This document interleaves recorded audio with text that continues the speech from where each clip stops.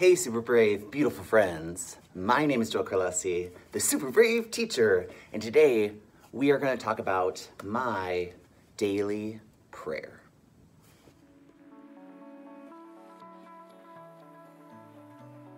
Yes, friends, like I said, I'm Joel Carlovsky, the super brave teacher, and every time you watch these videos, you are helping to shift the narrative so that people like me, queer teachers like me, LGBTQ plus teachers like me, have more visibility and voice so that we watch more videos and we're like, hey, that person's kind of awesome. Or hey, I see myself in that person. Or hey, I don't see myself in that person, but I know someone who might.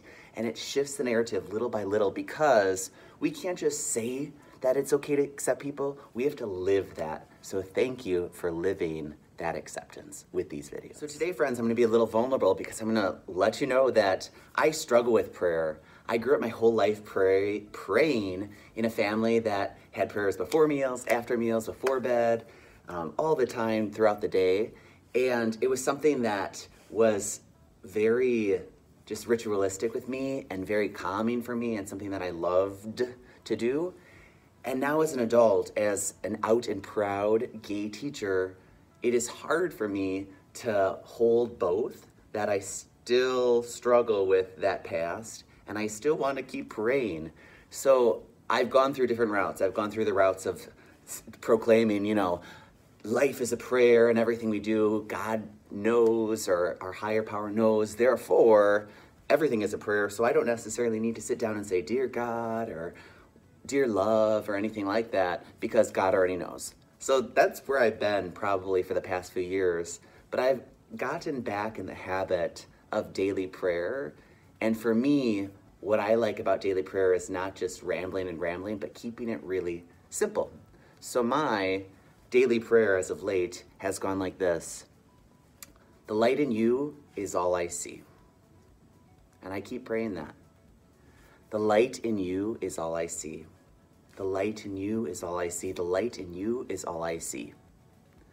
And I like keeping it that simple because it's almost like God fills in the blanks for me. So when whatever, wherever I'm at in life, I just keep praying that prayer. So if I'm looking at myself in the mirror, I say, you know, Joel, the light in you is all I see. And if I'm struggling with anger or resentment or anxiety, I look at people around me and I say, the light in you is all I see.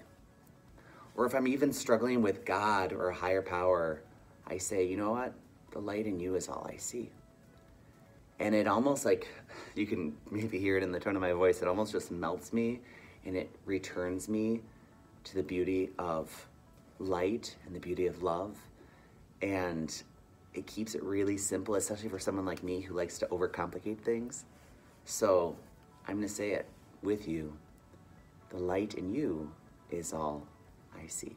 And the more I pray that prayer, I recognize that the other person is me. Like the more I just say the light in you is all I see, the more I also see that like the light in you is the light in me, that whole namaste thing, that whole idea of saying like, wait, the reason I'm frustrated with you is because I'm probably frustrated with me. And the reason I'm frustrated that this is going on is probably because I'm frustrated that this is going on, right?